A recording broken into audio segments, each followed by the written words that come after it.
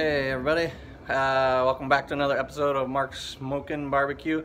Um, today we are going to do what we call feather bones. Uh, some refer to them as riblets, but they're basically mini ribs and uh, it'll be fun.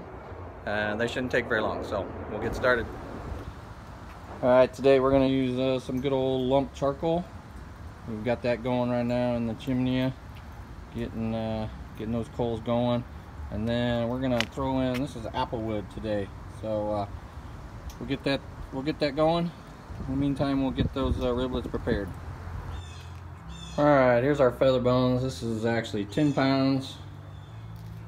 I don't know if you can tell but yeah they're a lot smaller and uh, a little thinner than regular ribs so they shouldn't take as long. And then we're going to use this is a local rub.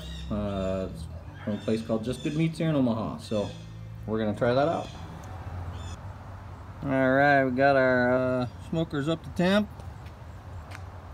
Looking good on all three of them. Time to get these bad boys on. All right, we got all these bad boys on here. Uh, just a side note, I did not put a lot of uh, the rub on because I don't want to overpower them. But uh, so the plan on these is a shorter time than regular ribs. Uh, so what I'm thinking here is probably about an hour and a half on the smoker with the smoke and then uh, we're gonna wrap them and see if we can get them a little more tender. All right, see you in a bit. All right, these guys have been on for about an hour and a half or so.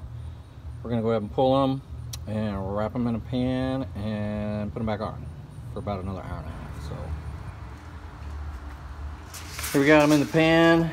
What we're gonna do is we're gonna throw in about a stick of butter, kind of spread that out, probably half to a full can of beer, and then we'll wrap them and throw them back on. I just pulled these out. Uh, been about another hour and a half. Um, just drained all that extra beer and butter off, and then now I'm gonna put some uh, barbecue sauce on there, shake them up, kind of mix it all around and then I think I'm gonna wrap them back up for about an hour or so. All right guys, here is the finished product. Looks good. Let's see if we can do this. Yep. Falls right off the bone. Took a little longer than I thought, but falls apart. Looks good. Let's try it. Beautiful. Alright everybody, that was uh, feather bones or riblets. Uh, it was a lot of fun. Uh, took a lot longer than I thought. I had to put them on there for a couple more hours uh, to get them to be fall off the bone like I like. But it was well worth it and they are delicious. So tune in next time. Uh, please subscribe below and hopefully brisket will be soon. Thanks.